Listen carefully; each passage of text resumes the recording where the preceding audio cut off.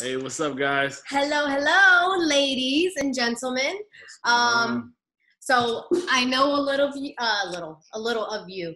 I know some of you are a little confused with how to meal prep and how to get it done. So we just want to touch base on that and you know, kind of explain it thoroughly and make it as simple as possible. Because when you're looking at all of those numbers and you're trying to figure out how many meals you're supposed to make, it can get a little um, you could you can get a little frustrated or confused. Yeah. So we're about to simplify it for you. Um, the first time around, it'll take a little bit of time for you to get it done.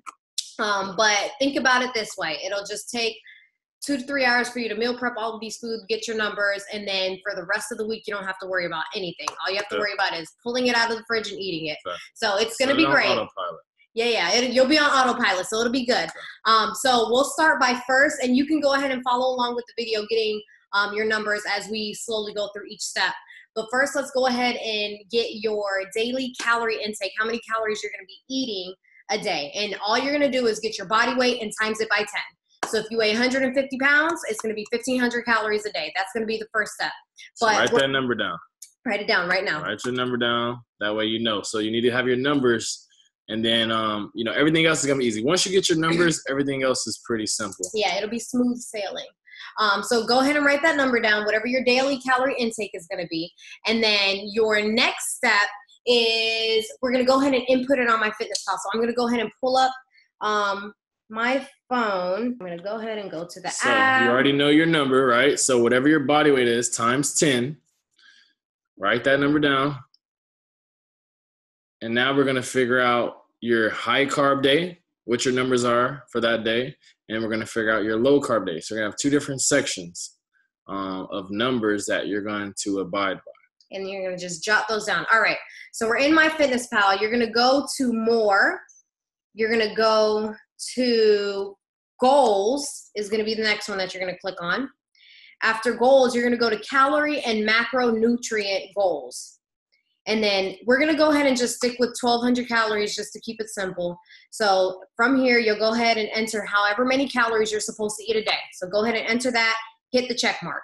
Now we're gonna figure out how many grams of, and you know, just for simplicity, we won't think about fat too much when we're doing our meal prepping. We'll really think about getting our carbs and our protein in line, and then your fat will kind of just fall into place with like you know, you just eating either eating like nuts or you know, a lot of your meats have fat in them. So let's just focus on the protein and the carbs just to make it simple. So on your high carb days, which will be the days that you hit those weights, which are going to be three days a week, mm-hmm. you're going to go ahead and put your carbs at 50%. Your protein is going to stay the same no matter what. It's going to stay at 35%. And then your fat on your weight days is going to be at 15%. So once you enter those numbers, just go ahead and hit the little check mark. This is going to be your high carb day. This is going to be your high carb day. So this is the day where, you know, you need that those extra calories to really get you through your workout. So this, this is, gonna when, be this is gonna be the fun day. Yeah, the fun day. this is when those carbs are gonna play a, a huge role to, to get you through that workout. So if you can see on this screen, you'll see carbohydrates 150 grams, protein 105 grams, fat 20 grams. So those are the numbers that I want you to go ahead and jot down. So you're going to put weight days. This is how many carbs I need. This is how much protein I need. And this is how much fat I need. And then after that, you're going to go back in there and we're going to get your, um, your resting days and your cardio days where your carbs are going to be lower. So you'll go back in here and now your carbs are going to be at 15%. Protein is going to stay the same. And then your fat, you're going to go ahead and increase your fat to 50%. Hit that check mark. Hit that check mark. And now you have your new grams of carbs and your new grams of fat. So your carbs are going to be 45 grams um, per day. And then your fat's going to be 67 grams per day. So now we have those numbers.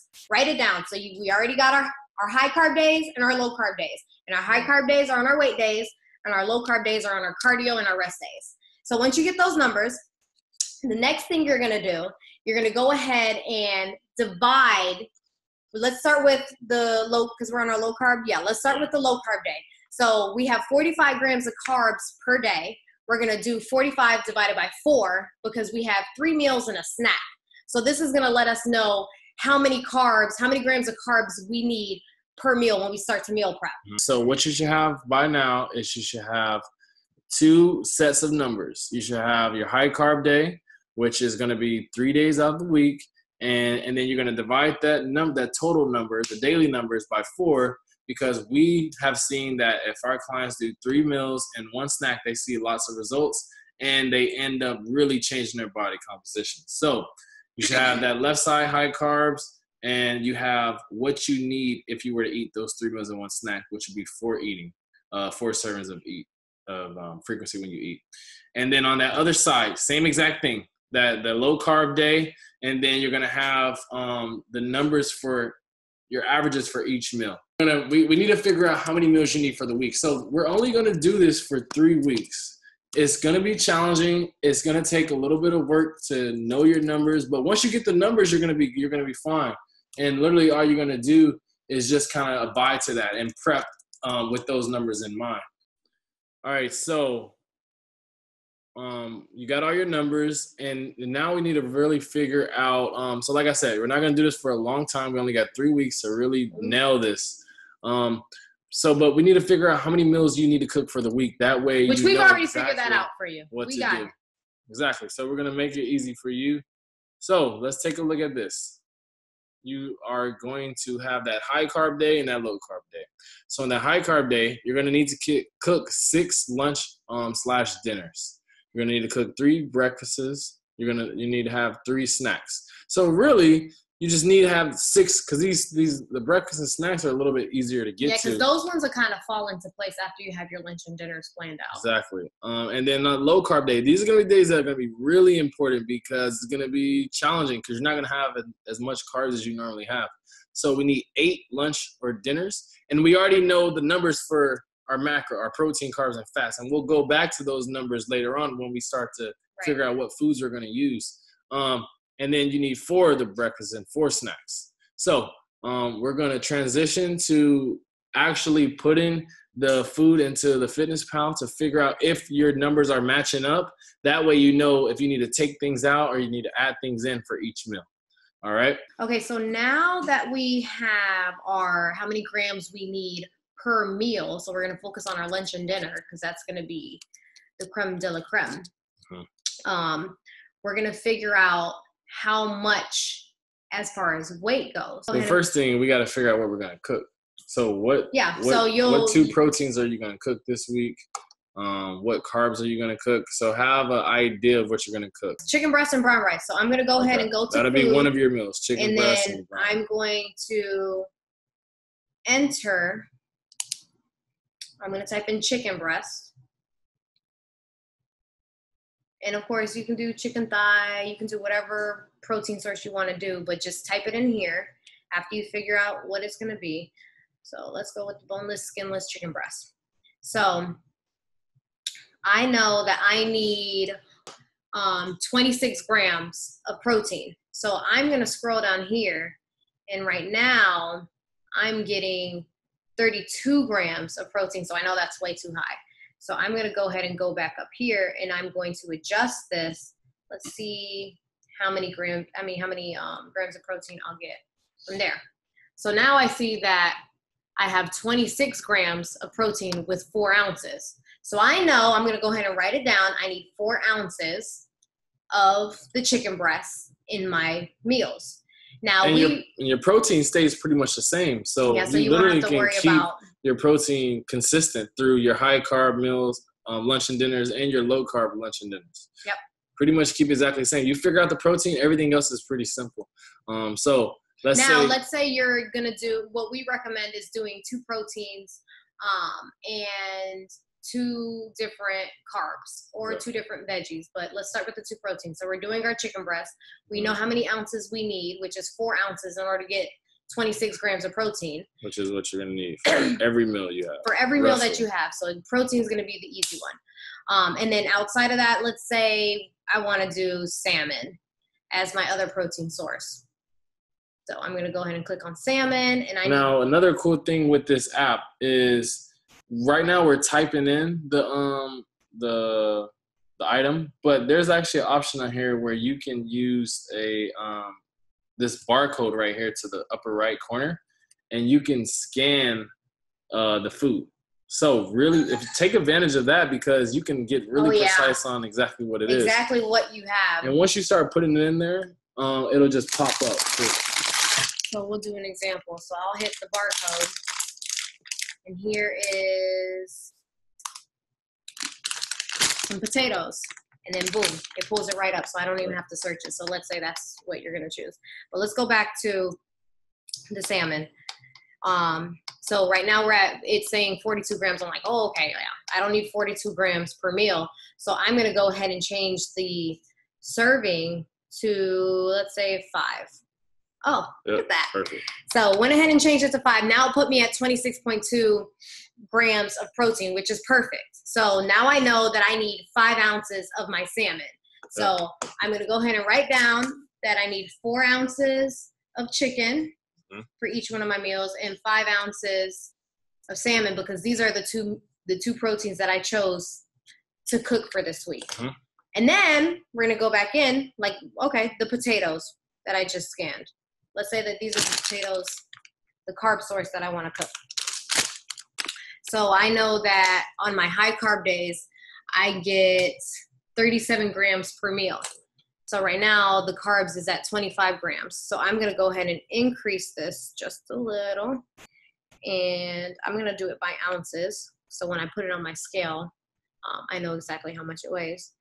And let's increase this.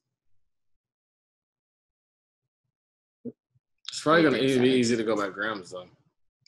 You can, I guess, you can do any. You can, you can do. Yeah, you can really or. do what whichever is No. easier. So if you Um, do grams, you can change your scale to gram setting. If you do ounces, you can change your scale to the ounce setting.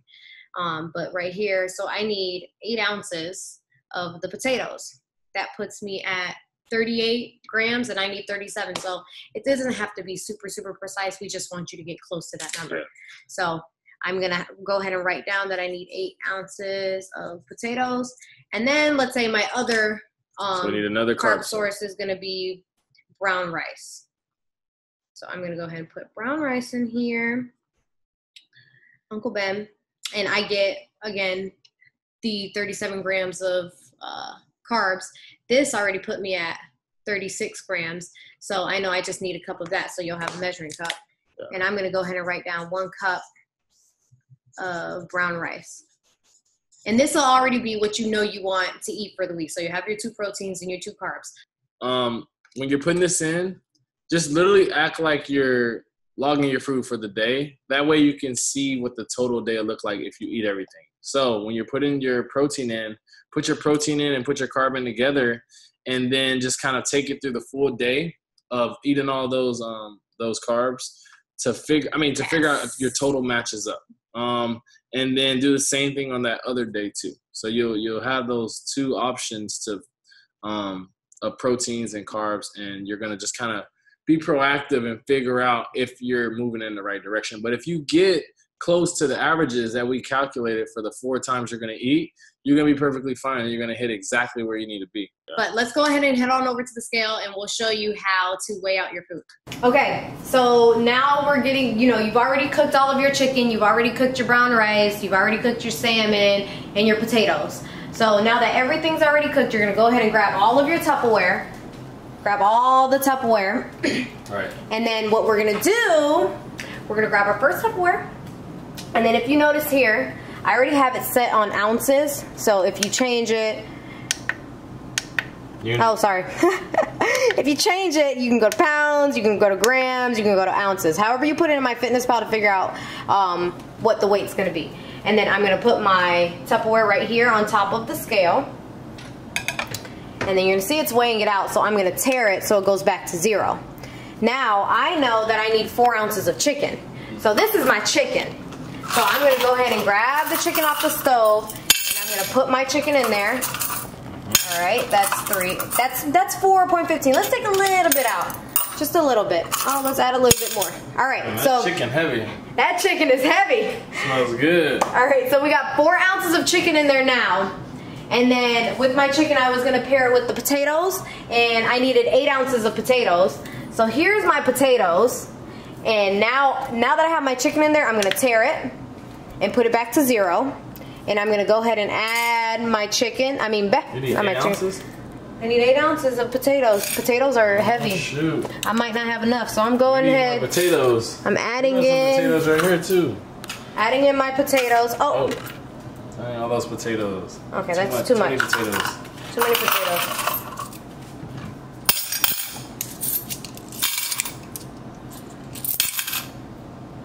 So that's eight ounces of potatoes.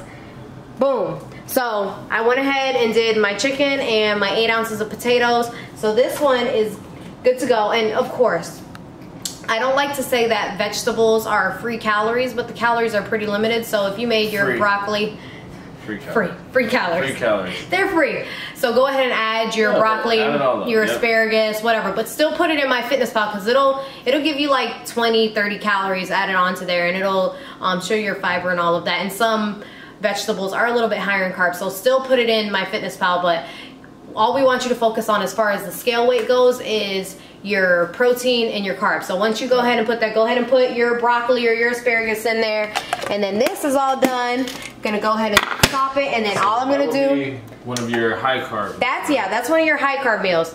So then you're gonna just go ahead and do the rest of your meals like that. So you know you need a total of six high carb meals. So I'm gonna do six Tupperwares with my, what I do, salmon? Oh, Yeah. with my chicken and my potatoes. So I got six of them in there. Or if you want to switch it up a little bit, Mm-hmm. you can do three of them with the potatoes and then three of them with the brown rice. Yeah, but you just So- have to measure out how much you need to to be on, you know, to be accurate with your numbers.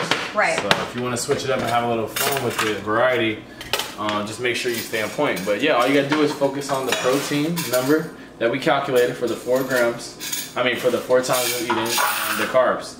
Literally, you do those two things. Every the fat will kind of just play, uh, kind of balance itself out. It will So- balance itself out. And in the case that you do need a little bit more fat, like on your low carb days, that's where you'll grab an avocado or, you know, nuts. cook with a little bit more olive oil or grab some nuts. One of those things just to kind of get that extra fat in because you have room for those calories. So we don't want you to starve yourself either, but you For just sure. have to be smart with it. Yeah. Um, now let's say you wanted to do the salmon and brown rice because you have six meals for the week. So let's say you did three with the potatoes and chicken and then the other three with the salmon and brown rice. So we're gonna do the same thing because I went ahead and got my numbers for my salmon.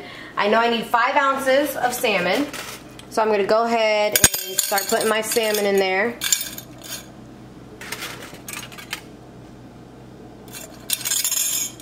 So that's that's right about five ounces. That it's at 4.91. Oh, you know what? We need a little bit more protein.